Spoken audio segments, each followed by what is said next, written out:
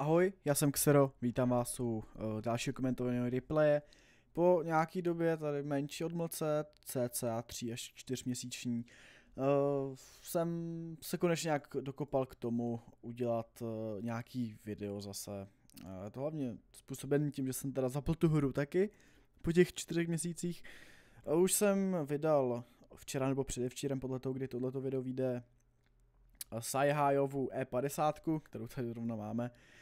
A takže to bylo takový moje první video pod od, od moc, ale už je přetočen tenkrát ještě snad z června. A ještě mám dvě přetočen videa, takhle strašně starý, takže ty taky uh, určitě ještě přijdou na řadu. Uh, každopádně uh, za tu dobu, co jsem měl pauzu, tak do hry přišli, přišel teda evropský národ a to znamená italský lomeno švédský, lomeno polský, lomeno finský tank a já, jakož jsem měl v garáži asi milion na 400 tisíc flíček, tak jsem si řekl, že před pár dnama jsem si řekl, že zkusím eh, tu hru u sebe na mainu. Já jsem teďka hrával chvilku na rerollu, zkoušel jsem jenom, jak moc se ta hra změnila. No a tak jsem si za fríčka, jsem si udělal desítečku. Hrál jsem teda už i devítku a to jsou teda zatím jediné dva tanky z té linie, co jsem hrál, 9 a 10. A jsou to neskutečné mašiny. Uh, tyhle ty tanky disponují od tieru 8 uh, takovým zajímavým dělem, který je zároveň jednoranka a zároveň zásobník. Nebo spíš je to zásobník, ale může sloužit jako jednoranka. Vidíte tady podle grafiky možná, že se nabíjí vlastně každý granát uh, jednotlivě.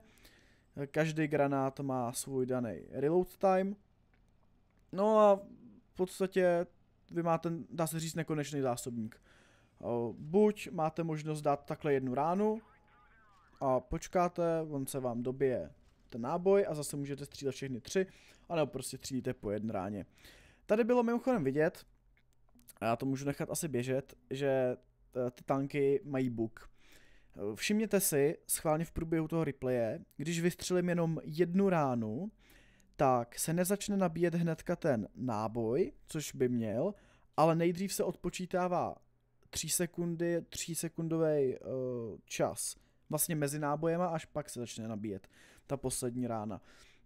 V teorii by to mělo fungovat tak, že když máte plný zásobník a vystřelíte jednu, tak ta třetí rána do plného klipu by měla být by měla být uh, nabitá co, jako ne, nejrychleji, tady to je i 5 sekund, ale kvůli tomu, že tam je chybička, tak se to sčítá i s tím interglipem, to znamená 3 sekundy.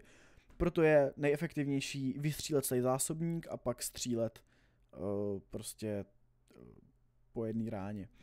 Jinak vtipný, první ránu jsem dal maximální roll, bez vykřičníku, takže why, asi why not. Uh, je, to ma- je to na mapě přístav lodi Yamato, to jsem asi nezmínil. A uh, jsem nějak zaujal tuhle tu pozici a budu se tady snažit nějak operovat. Uh, tenhle ten tank disponuje mimo to, že má tohle zajímavé dělo, tak to dělo taky disponuje 9 stupní deprese, což je hodně v pohodě, dá se s tím hrát úplně nádherně. Uh, velmi, velmi dobrým gun handlingem a superovou přesností. Ten tank nemá moc dobrý armor, v podstatě nemá skoro vůbec žádný armor, jde o to, že ten armor hrozně trolí. Když si to pauznem, tak uh, ten vrchní plát vidíte, že je pod velkým úhlem, to znamená, že ten dokáže obancovat velmi pěkně. Ta věž dokáže taky obamcovat, ačkoliv ta věž je hlavní weak spot na tom tanku, společně se spodním plátem, ale i ten dokáže potrolit. Takže ta věž uh, je docela v pohodě penetrovatelná, uh, případně mířit sem někam k té kopulce, tam, tam je ta šance největší. A protože uh, ten tank má tady štíty, nebo takový ty prostě plechy přes pásy, tak není přesně vědět, kde ty pásy jsou. A hráči často střílejí třeba někam sem do těchto míst, kam to ale dává za nula, protože tam ještě není tank, ale jenom ty pásy. Proto ten tank do boku je dobrý střílet takhle přímo pod věž do této části. Protože jinak to dokáže někdy úplně nesmyslně bouncenout. Teďka ta věž docela, docela pěkně povodrážela, tady krásně vidět to, to, to, to skvěle přesní dělo, to je fakt, to je fakt jako úplná nádhera na tom tanku. Další bounce od 5.4, 5.4 je zrovna tank, který nemá úplně moc pene, ale tak já se zlobit nebudu, 12.40 na cinkáno. Teď jsem bohužel jednu ránu dostal a nepodařilo se mi vrátit, což byla trošku škoda. A teďka si právě budu hledat ránu na nějaký to TD, jestli tam pojede. Uh, Nakonec jsem se ale rozhodl, že se posunu dopředu, když jsem viděl, že ta naše E50 tady pušla ty dvě nepřátelský metka, tak že jí pomůžu. Takže právě tady teďka jsem krásně zapálil tu padinu, dostal jsem bohužel soustřel, uh, ale tady jsem zapálil hnedka další následující round tu 5-4. Tady tenhle ten zásobník byl za nějakých třeba, kolik to může být, 1300 14 damage, což je fakt krásný. A tady právě v tom je ten stroj hrozně dobrý, že vy vytřídíte zásobník, ale za zhruba 7 sekund máte už aspoň tu první ránu. Proto je hrozně super, když třeba máte tank, který má 1300 HPček, vy ho klipnete, nabijete si tu jednu a můžete ho zabít a nemusíte čekat nějakých těch 20 sekund na úplně celý zásobník pro použití té jedné rány. Takže v podstatě tady na to tanku nevadí, když třeba se zásobníkem, třeba když jednu neprobijete a dvě jo, tak to je problém, protože hnedka najednou ten zásobník ztrácí potenciál. A u tohohle se, troje to takový problém není, protože se ty rány dobí pořád. Mezitím jsme tam vyčistili ty dvě metka a já jsem se tady přesunul eh, do města, kde mají ještě docela uh, ty jejich tři tanky HPčka, takže já si tady uh, nějak číhám. Dal se tomu baťáku, tam dvě rány, tady píknul, uh, dostal hezký soustřel. Já mám ještě jednu ránu v klipu, takže to použiju hezky tady na tu uh, 268, vykřižníková rána, já si myslím, že paráda.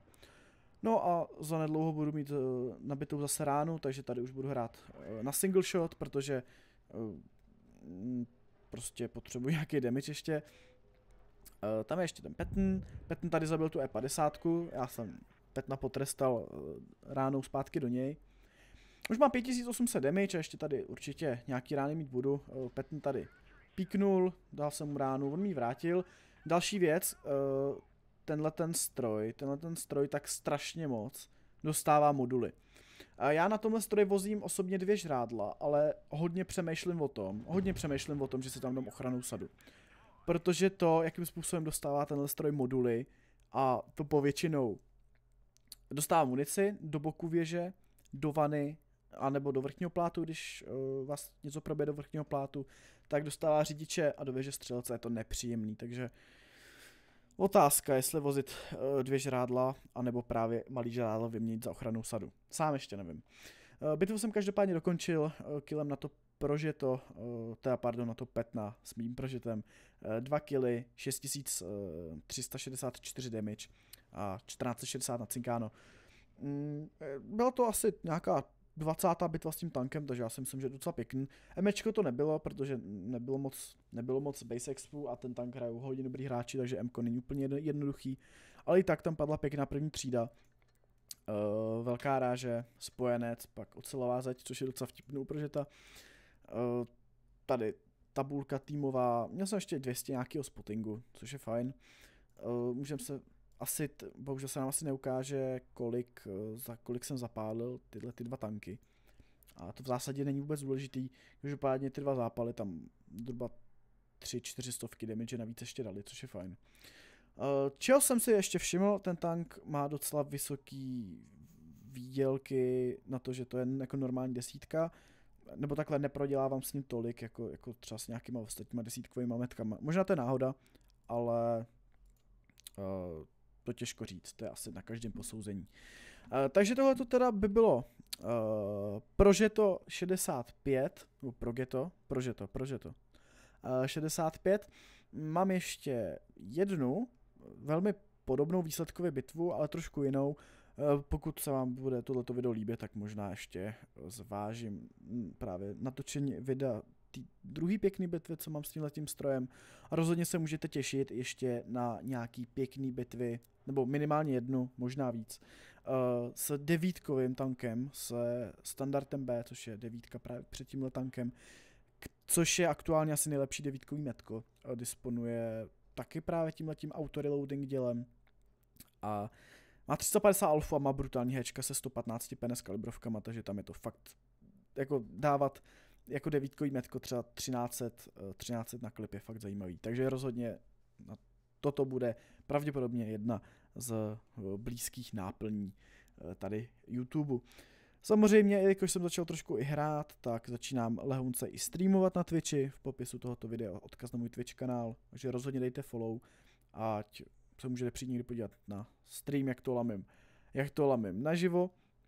A nezbývá mi poděkovat asi nic, eh, než vám poděkovat za sledování tohoto videa.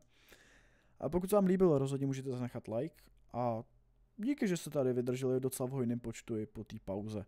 Nevím, jak to teď je s pravidelností, pořád si ještě nejsem 100% zdali chci začít hrát zase nějak aspoň na poloviční úvazek nebo ne, uvidím, těžko říct. Sledujte YouTube, sledujte Twitch a dozvíte se. Tak jo, mm, mějte se moc pěkně a u nějakého dalšího videa nebo streamu se určitě zase uvidíme. Tak, zatím čau čau.